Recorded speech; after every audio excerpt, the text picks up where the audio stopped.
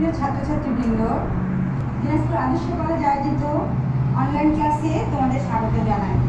আমি রূপারানী দাস, প্রভাষক বিভাগীয় প্রধান আদর্শ মহাবিদ্যালয়, দিনাজপুর। তোমরা জানো, জীববিজ্ঞানের দুটো শাখা, একটা উদ্ভিদ বিজ্ঞান আর একটা প্রাণী আমি জীববিজ্ঞানের যে দ্বিতীয় পথে প্রাণী আছে, সে বিষয়ে তোমাদের সাথে আলোচনা করব, পড়াবো। আমি তোমাদের আজকে অধ্যায় প্রথমের প্রাণীর বিভিন্নতা শ্রেণীবিন্যাস সম্পর্কে আলোচনা করব। তার আগে শুরুতেই আমি কিছু তোমাদের কথা বলতে চাই। একটা হচ্ছে বিজ্ঞানীদের ধারণা অনুযায়ী এই পৃথিবীতে প্রাণীর সূচনা হয়েছিল প্রায় দুশো ষাট কোটি বছর পূর্বে। তবে প্রাণীর প্রথম জীবনের শুরু শুরু কবে হয়েছিল তা নিয়ে এখনও যথেষ্ট মতভেদ রয়েছে। তার সঠিক সংজ্ঞা এখনও কেউ উদ্ভাবন করতে পারেনি। কারণ বিভিন্ন সময়ে বিভিন্ন বিষয়ের উপর ভিত্তি করে বিভিন্ন বিজ্ঞানী বিভিন্ন মতভেদ দিয়েছেন। জায়গা ও ভিন্নতা অনুযায়ী এই পৃথিবীতে লক্ষ লক্ষ প্রাণীর সমাহার। জায়গা ও ভিন্নতা অনুযায়ী প্রতিটা প্রাণীর মধ্যে যথেষ্ট পার্থক্য রয়েছে।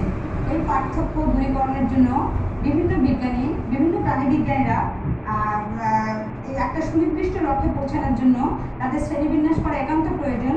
আহ, এই জন্য তোমার হচ্ছে অ্যারিস্টটল সবার আগে প্রাণীবিজ্ঞানের অ্যারিস্টটলকে প্রাণীবিজ্ঞানের জনক বলা হয় তোমরা জানো। অ্যারিস্টটল সর্বপ্রথম মনে করেন যে এদের একটা শ্রেণীতাত্ত্বিক অবস্থান থাকা দরকার। যাই হোক লেমার সর্বপ্রথম সমস্ত কোয়ার্ডেট ও নন কোয়ার্ডেট প্রাণীর উপর ভিত্তি করে সমস্ত প্রাণীকুলকে একত্রে এনিমালিয়া বলা হয়। এনিমালিয়া বলে অর্থাৎ আবার ক্যারোলাস লিনিয়াসকে বিপদ নামকরণের জনক বলা হয়। এখন আমরা জানব প্রাণীর বিভিন্নতা শ্রেণীবিন্যাস। প্রাণীর বিভিন্নতা। প্রাণীর বিভিন্নতা শ্রেণীবিন্যাস জানার আগে শুরুতেই আমাদের জানা দরকার প্রাণী কাকে বলে। যেসব বহুকোষী জীব সুনির্দিষ্ট আকার আকৃতি বিশিষ্ট, সুগঠিত অঙ্গতন্ত্র বিশিষ্ট, চলাফেরায় সক্ষম পরভোজী অরজৈব পুষ্টিতে খাদ্য সম্পন্ন করে, সারা তোমার হচ্ছে পরভোজী উদ্দীপনা সারা দিতে পারে, সেই সমস্ত প্রাণীকে তোমার হচ্ছে প্রাণী বলে। আর প্রাণী বিজ্ঞান কাকে বলে? প্রাণী প্রাণীবিজ্ঞান জীববিজ্ঞানের যে শাখায় প্রাণীদের অঙ্গসংস্থান, বাসস্থান, স্বভাব শারীরবৃত্তীয় স্থান, জীবন বৃত্তান্ত, বিবর্তন পরিবেশের সাথে সম্পর্ক ইত্যাদি বিষয় নিয়ে আলোচনা, পর্যালোচনা ইত্যাদি করা হয়। তাদেরকে প্রাণীবিজ্ঞান বলা হয়। অর্থাৎ প্রাণীবিজ্ঞানের যে সমস্ত শাখায় প্রাণীবিজ্ঞান নিয়েই আলোচনা করা হয়, তাকেই প্রাণীবিজ্ঞান বলা হয়। আর প্রাণীবিজ্ঞানের জনক কাকে বলা হয়? এরিস্টটলকে। এখন দেখো প্রাণীবিজ্ঞানের শাখা কয়টি? এটাও কিন্তু আমাদের জানা দরকার। প্রাণীবিজ্ঞানের শাখা মূলত দুটি। একটা হচ্ছে বিশুদ্ধ প্রাণীবিজ্ঞান আর একটা হচ্ছে ফলিত প্রাণীবিজ্ঞান তবে বিশেষ প্রাণীবিজ্ঞান নামেও একটি শাখার উদ্ভাবন হয়েছে। বিশুদ্ধ প্রাণীবিজ্ঞানে কোষতত্ত্ব কলাস্থান শারীরবিদ্যা তোমার জিনতত্ত্ব, ভ্রূণতত্ত্ব ইত্যাদি আরও অনেক বিষয় নিয়ে আলোচনা করা হয়। আর ফলিত প্রাণীবিজ্ঞানে মৌমাছি চাষ, রেশম চাষ, লাক্ষা চাষ গবাদি পশু প্রতিপালন ইত্যাদি বিষয় নিয়ে ইত্যাদি আরও অনেক বিষয় নিয়ে আলোচনা করা হয়। এত ডিটেলসে আমরা এখন যাব না। সংক্ষেপে শুধু তোমাদেরকে বলছি বিশেষ প্রাণীবিজ্ঞান বিশেষ প্রাণীবিজ্ঞানে এককোষী প্রাণীবিদ্যা উম, আহ, কৃমিবিদ্যা পরজীবী বিদ্যা কীটবিদ্যা ইত্যাদি বিষয় নিয়েও আলোচনা করা হয়। এখন দেখো প্রাণী সম্পর্কে আমরা জানলাম প্রাণী কাকে বলে প্রাণীবিজ্ঞান কাকে বলে প্রাণীবিজ্ঞানের শাখা কয়টি? এখন জানব প্রাণীর বৈশিষ্ট্য। এক নম্বর প্রাণীদেহের নির্দিষ্ট একটি সুনির্দিষ্ট আকার আকৃতি থাকে, তবে ব্যতিক্রমও থাকে। যেমন তোমার হচ্ছে স্পঞ্জ আর প্রবাল। প্রবাল নিশ্চয়ই তোমরা জানো, তোমার সেন্ট মার্টিনে অনেক প্রবাল আছে জীবন্ত প্রবালও আছে, এবং তাদের কিন্তু আকৃতি তোমার সুনির্দিষ্ট না। তোমার অবস্থানের উপর ভিত্তি করে তাদের আকৃতি বৃদ্ধি পায়। যার কারণে ব্যতিক্রম হচ্ছে প্রবাল, স্পঞ্জ। প্রাণীরা সাধারণত নিজেদের খাদ্য নিজেরা প্রস্তুত করতে পারে না। এরা হচ্ছে পরভোজী অর্থাৎ পরনির্ভরশীল। পরজৈব পদ্ধতিতে এরা নিজেদের খাদ্য সম্পূর্ণ করে। প্রাণীরা চলাফেরা করতে পারে। তবে ব্যতিক্রমও থাকে তোমার হচ্ছে স্পঞ্জ এবং সাগর কুসুম চার নম্বর, প্রাণীদের দেহে প্রতিসাম্যতা দেখা দেয়। প্রতিসাম্যতা বিষয়টি অনেক মজার এবং জানা খুব দরকার। এটা আমরা নেক্সট ক্লাসে তোমাদের এই বিষয়টা নিয়ে আলোচনা করব। তবে এখন শুধু এতটুকু বলতে চাই, মানুষ হচ্ছে দ্বিপার্শ্বীয় প্রতিসাম্য। কেমন করে যখন একটা মানুষকে সমান দুই অংশে মাঝ বরাবর ভাগ করা হয়, সমান দুই অংশে পাওয়া গেলে সেই প্রাণীটাকে দ্বিপার্শ্বীয় প্রতিসাম্য বলে, যেমন মানুষ, অর্থাৎ আমরা।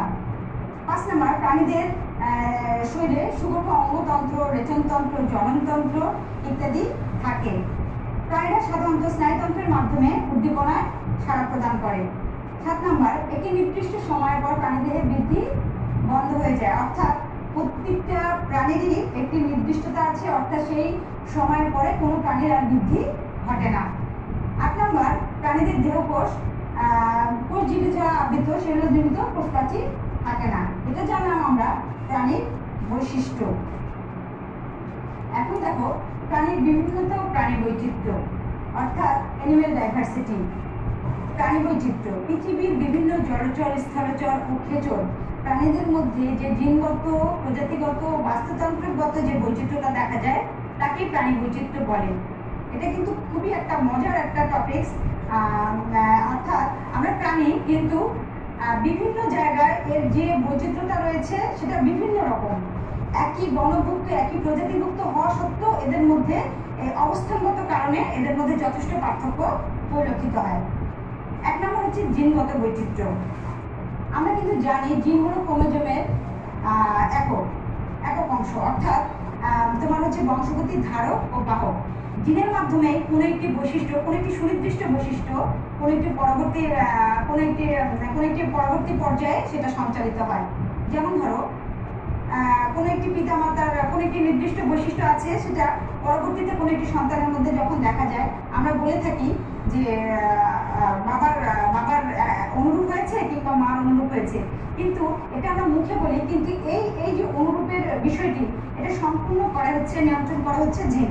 অর্থাৎ জিনের মাধ্যমে কোনো একটি বৈশিষ্ট্য পরবর্তী বংশে সঞ্চালিত হয়।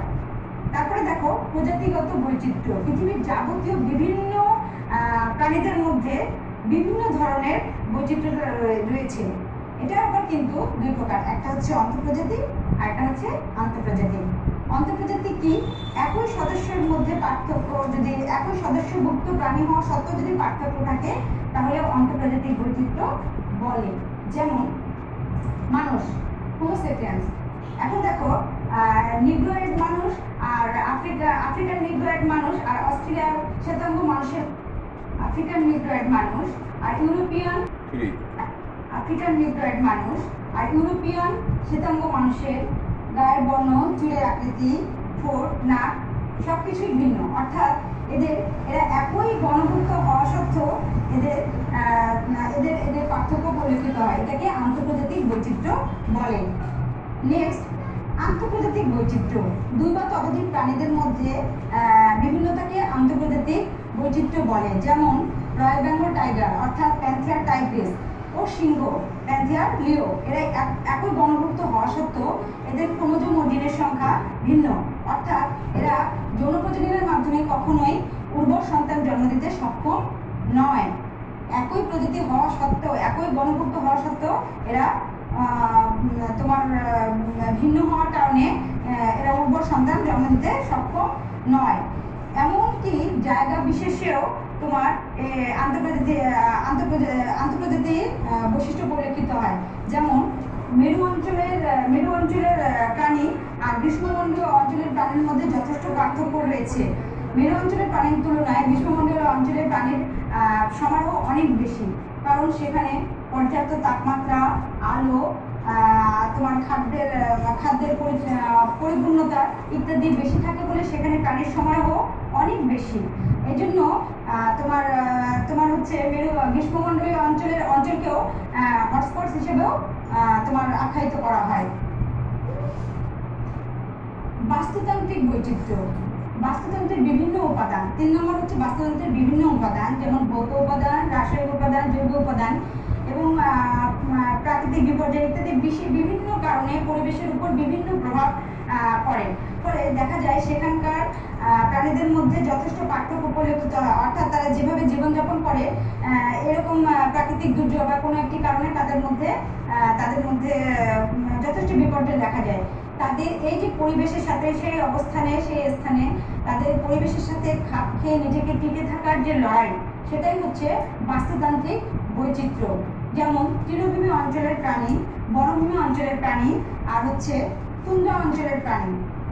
এখন দেখো, লক্ষ লক্ষ প্রা- প্রাণীর শ্রেণীবিন্যাসের ভিত্তি নীতি। প্রাণীর শ্রেণীবিন্যাসের ভিত্তি নীতি আরও অনেক বিষয়ের উপর বিষয়ের উপর ভিত্তি করেই তোমার হচ্ছে একটা প্রাণীকে কোনো একটি পর্যায়ে অন্তর্ভুক্ত করা হয়। কিন্তু আজকে আমরা এত ডিটেলসে যাব না। শুধু শুধু এতটুকুই বলতে চাই, লক্ষ লক্ষ প্রাণীর আবাসস্থল এই পৃথিবী এখন পর্যন্ত অনেক প্রাণীর নামকরণ করা হয়নি। কারণ একটা প্রাণীকে আমি পূর্বেই বলেছি, একটা প্রাণীকে যদি একটা পর্বে অন্তর্ভুক্ত করা হয়, তাহলে তার জন্ম থেকে মৃত্যু পর্যন্ত তাকে পর্যবেক্ষণ করতে হয়, যা একটা বিজ্ঞানীর পক্ষে কখনোই সম্ভব নয়। যার কারণে এই লক্ষ লক্ষ প্রাণী থেকে এখন পর্যন্ত প্রায় পনেরো লক্ষের বেশি প্রাণীর নামকরণ করা হয়েছে। শ্রেণি শ্রেণি শ্রেণীবিদ্যাটা এমনই একটি মজার বিষয় যে এটা যদি আমরা জানি, তাহলে একটা প্রাণীর বাসস্থান খাদ্য গ্রহণ প্রজনন, চলাফেরা ইত্যাদি সমস্ত বিষয় সেই প্রাণীটার সম্পর্কে আমরা অবগত থাকব। এখন আমি তোমাদেরকে বলতে চাই, কোনো একটি প্রাণীর যে পার্থক্য, ধরো আমরা জানি প্রাণী জগতে পর্ব হচ্ছে মূলত নয়টা। একটা হচ্ছে তোমার একটা হচ্ছে কর্ডেট বাকি হচ্ছে আটটা হচ্ছে নন কর্ডেট এখন, তাহলে প্রাণী জগতে সবচেয়ে নন কর্ডেট সংখ্যা অনেক বেশি কর্ডেটের সংখ্যা কম। কিন্তু কোনো একটি প্রাণীকে যদি কোনো একটির অন্তর্ভুক্ত করতে যাই, তাহলে দেখা যায়, কোনো কোনো প্রাণীর ক্ষেত্রে দেখা যায়, তাহলে জীবনের শুরুতে তাদের নটকটের উপস্থিতি আছে এবং পরবর্তী দিকে নটকট বিলুপ্ত হয়ে গেছে। আবার দেখা যায় কোনো কোনো প্রাণীর নটকটের উপস্থিতি শুরুতে নেই, কিন্তু পরবর্তীতে নটকটের উপস্থিতি আছে। এটা জাস্ট আমি একটা উদাহরণ দিলাম। এরকম আরও অনেক উদাহরণ আছে, যার কারণে অনেক বিষয়ের উপর ভিত্তি করে বিভিন্ন বিজ্ঞানীগণ বিভিন্ন পর্যবেক্ষণ করে বিভিন্ন প্রাণীকে কোনো একটি নির্দিষ্ট পর্বের অন্তর্ভুক্ত করেন। যাই হোক, তোমাদের ক্লাসটা কতটুকু কাজে লাগল আমি জানি না। তোমরা ক্লাসে ক্লাসে অবশ্যই ক্লাসটা দেখবে। আর আমাদের সাথে থাকবে এখন আমাদের যে আমাদের গোটা বিশ্ব যে একটা আমরা পরিস্থিতির মধ্যে আমাদের যাচ্ছে, আমরা কেউই ভালো নেই। কিন্তু এভাবেই আমাদের ভালো থাকতে হবে, সুস্থ থাকতে হবে। তোমরা সবাই ভালো থাকবে। ক্লাসগুলো মনোযোগ সহকারে দেখবে। যদি কোনো রকম তোমাদের কোনো কোনো কিছু জানার, এছাড়াও জানার বাকি থাকে, আমাকে তোমরা অবশ্যই ইনবক্সে মেসেজ করবে। আমি তোমাদের সেগুলো জবাব দেওয়ার চেষ্টা করব। যতদিন কলেজ স্বাভাবিক না হচ্ছে, এভাবে ক্লাস নিতে আমাদেরও ভালো লাগে না। আসলে কোনো কিছুর ফিডব্যাক না পেলে ক্লাসের মজা নেই। যাই হোক, তোমরা ভালো থাকবে। নেক্সটে অবশ্যই তোমাদের সাথে দেখা হবে। ভালো থাকবে। সবাইকে ধন্যবাদ জানিয়ে আমি আমার ক্লাস এখানেই শেষ করছি।